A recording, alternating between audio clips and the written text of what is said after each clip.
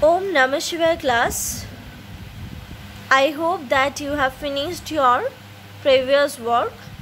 Okay. I have given you the exercise of Vishesha in the last video. I hope you have finished it.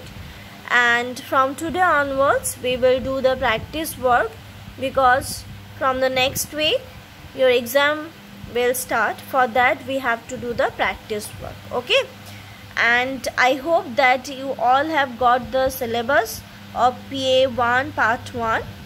Uh, you are having two chapter in PA1 part 1 that one is Anarikaya Hajigyasa and this one Trivarna Dhwajaha.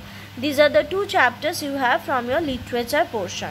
Okay and uh, for this we will do the practice work so let's start and first what we will do we will do the artham likhat one okay once again i'm reading these words along with the meaning okay and i'll give you the words you have to write these me uh, word meanings without seeing the copy okay so let's read सांस्कृतिक कार्यक्रम cultural function ध्वजा आरोहणम wasting flag त्रिवर्ण tricolour सौरस्य of value then सत्य of truth समृद्धि prosperity राष्ट्र गौरवस्य pride of the nation त्यागस्य sacrifice then सुषमाया ब्यूटी चतुर्विंशति twenty four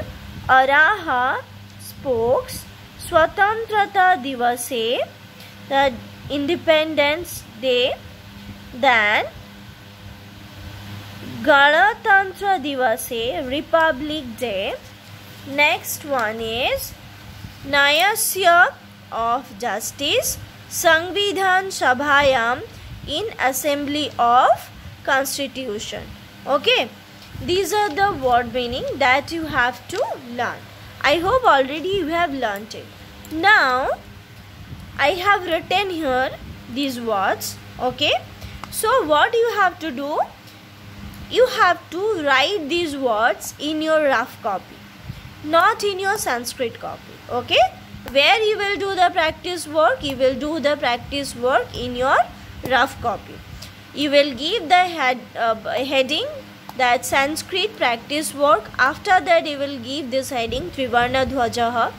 Then Artham Likhat. After that all the words I have given, all these words you have to write and after that you will write the meaning of these words without seeing the book. Clear? I hope you have understood it. Okay? So, you do it at your home and learn uh, the next exercise that ek purn vakyena uttarad and means other rest of the exercise of this chapter you learn and tomorrow uh, or in the next class i will give you another one okay? So class i hope that you will not see the copy while writing the answer okay? You will write this answer by yourself if you don't know the answer you have not learnt yet then I, I want to tell you learn first learn all the word meaning first after that you write okay? Because you're uh, in the next week your exam is there you have to give the exam nicely okay? So namaste class